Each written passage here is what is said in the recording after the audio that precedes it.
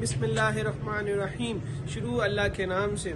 जैसा कि आप सबको मालूम है, रमज़ान का महीना आने वाला है। सिर्फ़ और सिर्फ़ आठ से दस दिन बाकी है। रमज़ान का महीना एक बरकत महीना है। ये लोगों की, गरीबों की, ज़रूरतमंद की खिदमत करने का महीना है। रमज़ान 2023 में हमने इफ्तार का एहतमाम किया था। जिसमें खजूर के बॉक्स से लेकर शरबत, समोसे, बिरयानी, पुलाव इवन बारबेक्यू का भी हमने अहतमाम किया था।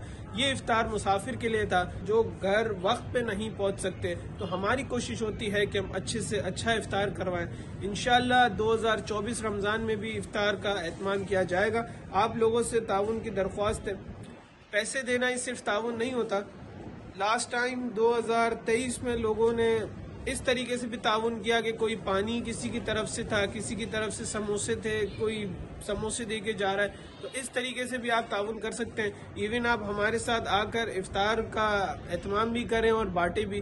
तो इस तरीके से आप ताउन कर सकते हैं। इनशाला फिर मिलते हैं रमज़ान के इफ्तार में। दुआओं में याद रखिएगा। दुआओं की दरख्वास्त है। अल्लाह